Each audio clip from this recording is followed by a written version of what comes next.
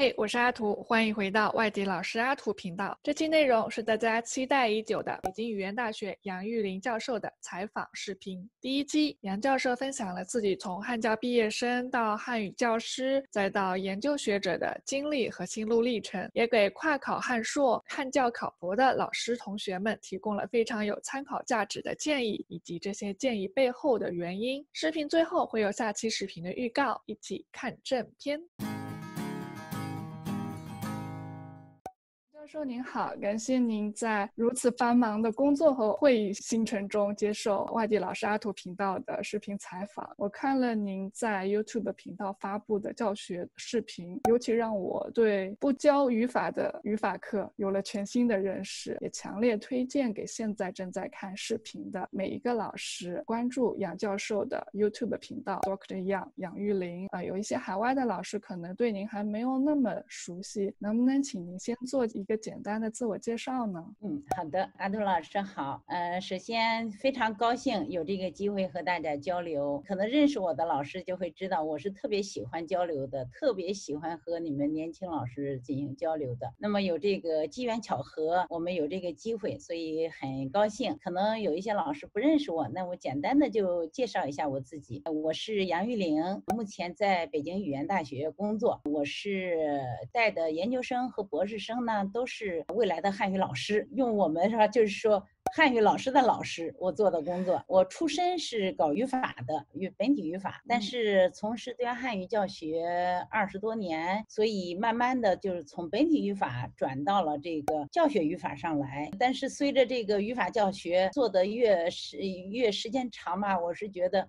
哎，发现对汉语这种语言，呃来说，就是我们的语言是没有形态变化的嘛，所以到了中级以上，我们发现词汇教学更重要。所以最近几年呢，我在词汇教学上也投入了更多的一些时间。所以如果要问我研究什么的，我可能是说，嗯，是语法和语法教学出身，但是最近几年有点不务正业，在做一些词汇教学。那所以我既搞语法教学，也做词汇教学。学，那么希望和老师们多多交流。如果有什么问题，我们随时都可以交流。我是嗯，经常收到来自世界各地的朋友的这个信、邮件或者是微信，呃，一睁眼就会有不同的问题，所以我每天给这些老师们交流很开心。也有很多问题也是我没有考虑到的、没有遇到的，所以我很喜欢。给大家交流。杨教授提到，语言学习者在学习过程中，词汇和语法的学习同样重要。只学词汇，学生们就只能从零散的字词指示或指代一些状态和事物；只学语法，没有足够量的词汇做基础，汉语学习者不能用丰富的语言表达情绪和想法，也是行不通的。但是，有些汉语教学大纲里明文规定，不能教语法，却又必须教句型结构，这让很多老师。是非常困惑，一起来听听杨教授的看法。我觉得阿图老师刚才理解的特别到位，就是你们的不管大纲，不管教育怎么说，他说的不教语法，其实是不教语法术语，并不是说让你不教语法。我们常常说我们不讲语法，但是得教语法。这个低龄学习者可能他没有这种语法概念，我们可以不给他讲。但是任何一个成年人都是希望学习那种有规则性的东西，杂乱无章的他是不容易掌握的。所以我们还是要给他提炼出来那种句法结构。刚才你说。的那个句法的格式啊、结构啊，还是要提炼出来，那就是语法。只不过我们不用竹谓宾定状补的这个术语来给他说而已。但是教肯定是要教的，只不过对低龄孩子来说，我们可能用更隐蔽的来教；那么对成年人来说，我们可能给他提炼句法结构。但整体来说，对外向型的这种嗯语法教学，总的原则是要教，但是是一种隐蔽式的，我们偷偷的教，让学生感觉不出来的教。比如说最简单。的，我吃了面包。今天这是他们的语法，但是呢，对，一节课都会跟他们强调，今天我吃了面包啊。他们用的久了，会形成一种习惯，但是他们自己不知道哦。原来我学了语法，这是一个 grammar。对他可能不知道这是主语、动词和宾语 SVO 型的，但是我们通过大量的呃例句给他提炼出来，他就时间长了，他就会知道汉语的这个结构规则。如果没有真正教过课，或者没有观摩过真。实的汉语课堂，很难想象得到学生们常犯的语法错误。作为没有教学经验、没有汉语专业背景的跨考生，在考汉硕的备考期间，最应该注意的学习重点是什么呢？其实，呃，我自己常常遇到很多跨专业来考的学生问这个问题。我不是鼓励这些人，我真的觉得我们这个汉语教学老师的来源是多元化的。从我们这个学科来说，它是需要的，因为我们这个学科本身它就是一个边缘交叉的，它需要学文学的、学语言的，甚至学什么计算机的。我明年招博士，我都希望我招一个理工科出身的。我说的真的不是开玩笑。我现在定的目标，我明年招博士，我就希望招一个这样。为什么我们现在需要对语言进行这种大数据的统计啊？对语言学习习得啊？所以我们这个专业它是一个需要各种专业出身的。所以第一点，跨专业考的这些考生和老师一点都不要觉得，哎呀，我我不是科班出身，怎么怎么样？这一点我就完全大可不必的去自卑，或者说觉得自己不如别人。我觉得要有一个正确的认识，我们需要。嗯嗯。那么第二点呢，不能是盲目的自信啊，不能说啊。我反正这个专业就是需要多元化的，那我也是这一个分子，所以我给大家一样，我没有压力，那也是不对的。一方面我们要有自信，另一方面要认识到我们的不足。比如说我明年招一个学理工科的博士，那我就要一定要求他语言的这个基本的知识，你还是要去打牢。所以对跨专业的考生或者是老师来说，要对自己的这个知识结构有一个正确的认识，去衡量一下。哎，我要是文学的、文化的，那我这一块可能不太欠缺了，那我就要摆在汉语基础这一块要补一补。那如果我是中文系毕业的，我要考这个专业，那我的文化呀、我的语言呀这方面都不差，但是我可能需要把我的知识、高深的理论怎么样掰开揉碎，让学生能够明白这样的一种技巧，你可能需要补。所以我觉得老师根据你自身的背景，然后找到自己的这长板，发挥自己的优势，同时呢，也要弥补一下自己的这个不足。我见过的非常优秀的。老师一个是学地理的，所以我们这个专业有时候包括我给汉曼做考官选拔一个老师过程中，我第一个就要看，我说看他有没有潜质。你就会看到一个人，他哪怕是数学出身的，五分钟一站，你就会知道他有教学潜质，特别是二语教学潜质。他会不会想到调动学生，会不会让学生开口多说话？那么这才是一个二语教学最根本的你的东西。那么语法、汉字这些知识差一点，我觉得不可怕。这些知识，别说语法内容那么多，我拿出一年的时间，我肯定可以啃透了。但是如果说你没有这种教学潜质啊，是很难改的，就是没有这个意识。上课的时候，一个人滔滔不绝，一言堂，这个是很可怕的。汉语教师本身就应该多元化，有特殊才艺或者兴趣爱好，会让学生们觉得这个老师很酷，从而调动学生的学习积极性。同时，杨教授也强调，多元化不代表可以盲目自信，快考生一定要认清自己，查漏补缺呀。当我谈到土木工程系学生因为热爱而跨考汉硕的时候，杨教授这样说：“你刚才说的一点，我觉得特别特别重要的一点就是热爱。我觉得呃，就是不管你是做教学还是做研究，这一点特别重要。只要你热爱，一定会在这个领域里面做出应该有的成就来。为什么呢？你热爱，你就会乐此不疲。比如说我刚开始教汉语的时候，我也会遇到各种各样的嗯你没有准备的问题，被学生问住。”这都是正常的，但是如果你不热爱，你就觉得哎呀，我被问住，我脸红脖子粗，我很难受。如果你热爱了，我就会去把这个问题记下来，我第二年我就不让我的学生出这个问题。所以三年下来，我们问题就积累差不多了。那么快考生考上汉硕以后，又应该从哪些方面拓展自己的知识面呢？同时，他们如何确定自己是适合实践教学，还是适合做研究呢？就包括我目前我在北语也会经常被。问到这个问题，你至于确定自己到底适合做教学或者是做研究这样的一个问题，可能还是真是得问自己，就是你自己最知道，你最了解。我觉得一个了解自己最简单的办法，就是要看一下自己做什么让你最开心。你比如说，我我记得谁说过一句话，判断自己是不是喜欢，你就看你早上起床那一瞬间的感觉，你是不是一起床就要想着我特别期待着去做这一件事情。我觉得这一点很重要。你比如说，我目前我在做词典，因为我带着全球的这三十多个老师，五个国家的有时差的问题，所以每天晚上肯定十二点多以后才睡觉。早上五点多，我一睁眼我就去查我的词条有没有新词条，我特别开心。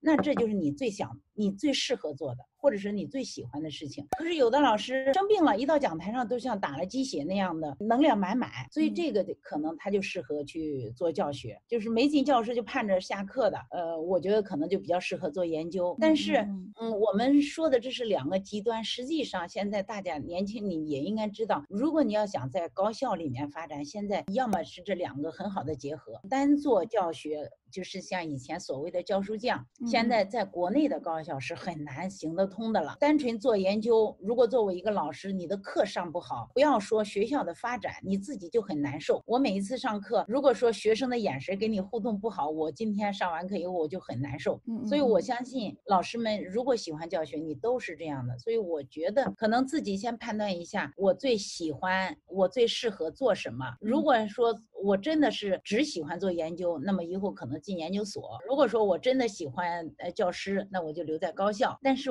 我还是特别希望大家不要把它做成两张皮，一定两二者是密切结合。就是我从教学过程中，我发现学生在这个地方容易出问题，那我就去分析一下为什么他出了这个问题啊？是因为我们教材的问题，还是因为我们的老师教的问题，还是他的母语问题啊？那么分析完以后，我是不是能够找到一个不让他出问题的办法呀？就是我从教学中来，然后你的研究完以后要回。归教要回归到教学服务教学，那你就觉得你的这样的研究就是有意思的，就能够做到教学和研究密切结合。虽然每个人有自己的性格特点，倾向于研究，有的人倾向于教学，但是我还是希望大家能够在这个中间找到一个结合点。回到我们刚才那个问题上，到底是适合去做研究呢，还是做这个教学呢？可能还是我自己内心最清楚，要尊重自己的内心，一定要自己做了以后，我觉得有意义的事儿。这就是你找对了路子。我觉得好在你们年轻人现在有很多尝试的这个机会，尝试完以后你就知道，哎，哪个更适合我。杨教授不断强调，多去尝试，了解自己，遵从内心。尽管每一代人各有各的焦虑，但是由于信息交互技术的日益发展，越来越多从无到有的中年人和自带光环的同龄人被大众所熟知。再加上由于流量、民生、资本的需求，当代年轻人比以往任何时候都要束手束脚。铺天盖地的自律、自控、人生规划、经济独立、财富自由这些概念，在短时间内一起迎面袭来，这也导致越来越多的新青年们还没有尝试就被可能存在的隐患吓退。对于汉语教师而言，又有哪些未知的恐惧阻碍前行？杨教授又有怎样的经历和感受呢？你刚才说的这一点，我也再补充一下，我特别同意你的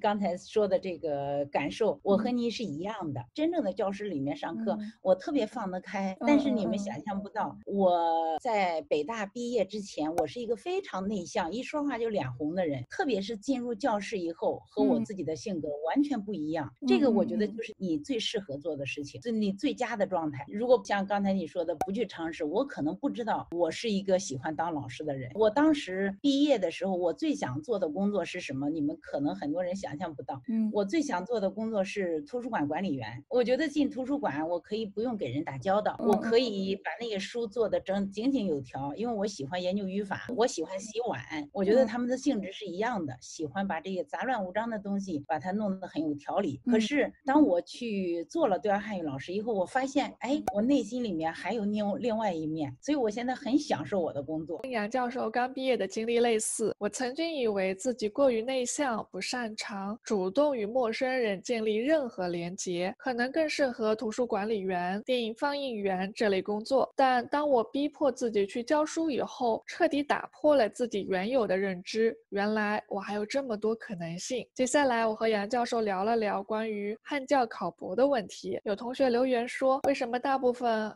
汉教硕士毕业生都直接工作了，很少有考博的。难道这个专业考博是不太明智的选择吗？我觉得你们的问题都特别具有这个典型的代表性。我我自己的研究生也是这么纠结，也有这样的一个过程。其实我自己也经过。硕士毕业以后，你到底是要不要读博士这个问题，真的非常个性化，可能结合你自己的人生规划，甚至你自己的性格特点，甚至经济条件，我觉得都有关系。你可能不能完全去 copy 别人的。哎，他这么选择了，可能不适合你，可能自己要了解一下自己。当然，你自己的人生规划，你比如说一个人和一个人的规划不一样，有的人就是一辈子我都不想生孩子，但是有的人我就想早早的有一个有一个家，那我就先结毕业以后先结婚。比如说我走的路子，当时北大硕士没毕业，我就结婚了。毕业以后，呃，两年我就生孩子，生了孩子，孩子上幼儿园，我就再回去读博士。那我的规划就是我喜欢孩子，所以我就一定要先完成我这个任务，然后我相信我还会再读博士。所以我觉得每个人的人生规划不一样，你自己想一下，我喜我喜欢不喜欢孩子？如果喜欢，那我可以走这条路。当然，如果说你决定了，我就想在高校发展，那这种情况我建议可以先去读博士。现在在国内没有博士学位，你可能进高校都是进不了，简历都不会看的，马上就要面临着这个毕业进人嘛，每年都是这样的。至少你在目前，你对自己的一个规划，我是想进高校，还是我就想当一个老师？我不做研究，我就做一个对汉语老师。可能目前的这个国际学校，嗯，或者是汉语教学机构，我就做一辈子做一个汉语老师，我也很开心。我觉得那也是一个选择，没关系的，只要你喜欢，你开心就可以呀，也不一定。所有的人都得去读博士啊，但是你如果真的嗯要想进高校，说实话，如果女孩子在高校里面还是挺不错的一个职业，对吧？咱们说的现实一点，女孩子在高高校，你你虽然有研究的任务、研究压力，但是一年暑假有两三个月的假期，寒假也有一两个月，还可以照顾家，这都是非常现实的。所以在高校里面，对女孩子来说是一个不错的职业。但如果你要决定进高校，那我还是建议就是早读博士。现在真的是一。年一个形势，毕业就业形势一年比一年严峻。我们每一年都说今年比呃比去年更难，未来来说是最容易的一年。我们毕业的时候说必须硕士进高校，后来博士，博士必须有核心，核心必须有两篇核心、三篇核心，这是要求是很高的呀。所以你如果早一点毕业就容易一些。再一个从现实一点，这个评职称也是一年比一年难。其实这个事情有的时候人是会变的，你可能上研究生一年级的时候。你并没这么想，但是走着走着，我就我就想改变了，那也是没问题的。就是在读书的过程中找到适合自己的。呃，我现在不想读研博士，那也没关系，我就按照我是当未来的一个汉语老师来准备，多准备我的教学技能。但是我发现，哎，在教育过程中有很多有意思的问题，我想研究。那你每一步都走好了，你再转是很容易的。但是如果你每一步都走的不踏实，就是坑坑洼洼的，然后你再转就很难了。不管是现在的计划，你是想呃毕业就业，还是说我就想坐下来认认真真的读博士？我觉得每一步都走好，嗯，然后叫水到渠成，是不是要读博？就像我刚才说的，真的是要考虑一下自己，这个没有一个呃放之四海而皆准，或者说这个适合我，可能就不适合你，或者适合你，可能就不适合我，没有一个固定的答案。